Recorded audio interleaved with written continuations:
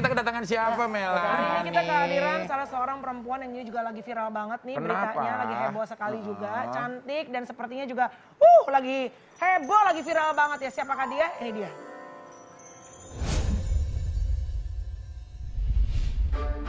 Sosok artis multitalenta Ratu Rizky Nabila mungkin sudah tidak asing lagi buat teman viral.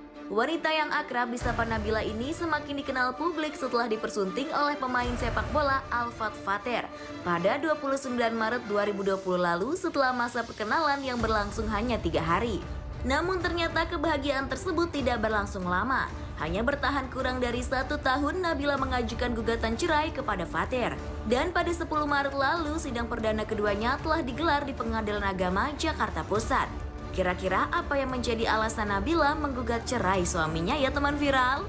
Langsung kita viralin aja yuk. Oke, pagi hari ini di Kopi Viral kita sudah kehadiran ya. Ini yang lagi heboh juga. Apa Iya. kabar sayang? Baik kak, Sehat ya? alhamdulillah. Kamu hamil berapa thanks, bulan God. sekarang?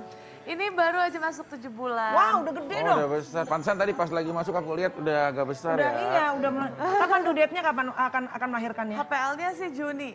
Juni. Juni didoain ya. Pasti, pasti. Lancar. berapa? Hah? Anak pertama. Enggak, Anak pertama. Anak pertama. Iya, anak pertama. Anak pertama kak. Oke. Alhamdulillah. Oke, ini lagi heboh banget nih. Oke, sebelum kita eh, ngobrol langsung ya, kita pengen lihat dulu nih ada fakta visualnya. Sesuatu yang juga katanya ini kamu bisa klarifikasi juga nanti ya. Iya, Silakan. anak itu aja udah selesai karena aku nggak mau punya ah astaga ini dari Alfat ya tenang mang ujian nanti waliku nafs santai aman itu udah minta aja Alfat karena nggak mau anak ini dari Alfat Iya, waktu kamu hamil dia sempat ngomong seperti ini dua minggu. usia kehamilan dua minggu Iya. Siap, siap Nas, besok terakhir ketemu ya. Aman terkendali dan nafs. Semua nafsku jangan juga pengen bahagia. Sama nafsku juga pengen bahagia. Ku sendiri juga nggak kuurus semenjak nikah.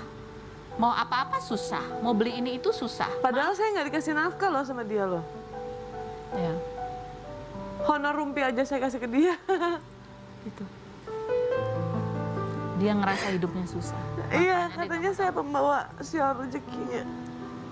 Ada saya semua buktinya. Oke, pemirsa tanpa kita sadari, episode Kopi Viral pagi hari ini Iya. ini mempunyai makna yang sangat luar biasa. Selain kita tadi tertawa, bercanda gurau, tapi mempunyai makna yang sangat mendalam. Di segmen satu kita kehadiran bintang tamu yang sedang bahagia-bahagianya ketika mereka dipertemukan oleh Allah dalam satu pernikahan. Dan di segmen selanjutnya, saat ini kita sedang bertemu dengan teman, sahabat, saudara kita yang justru sebaliknya. Ya. Sedang tertimpa masalah di dalam rumah tangganya, dalam kondisi yang sedang hamil.